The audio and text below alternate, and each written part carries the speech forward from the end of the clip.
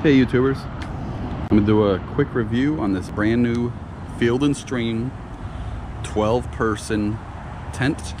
Uh, we bought it from Dick's Sporting Goods. It was on sale 50% off, so it was $180.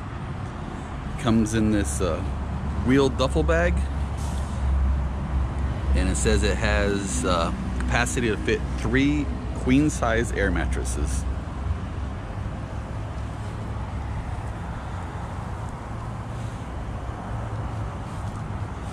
Comes with a rain fly that attaches with little hooks. Here's the rear of it.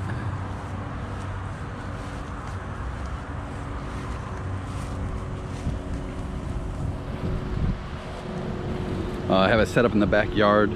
I always want to test it out before we actually go camping.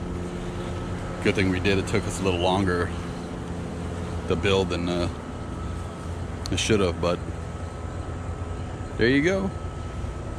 All right, now here's the inside of the tent. All the windows zip up like that. There's cargo pockets. Now the whole top is mesh. So if you don't have the rain fly on, uh, you will get wet. But there's a good spacing in between the two layers where the breeze can flow through. Now I'm six foot five. I got about another foot and a half above my head all the way to the top of the, uh, the tent up here.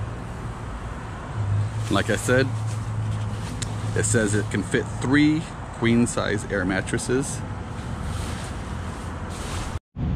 Inside the duffel bag comes extra tent stakes, some rope, uh, the one year warranty, and the instruction manual is sewn into the bag so you'll never lose it. And it's like that plastic paper. So it shows you how to put it together. And this is how the poles go.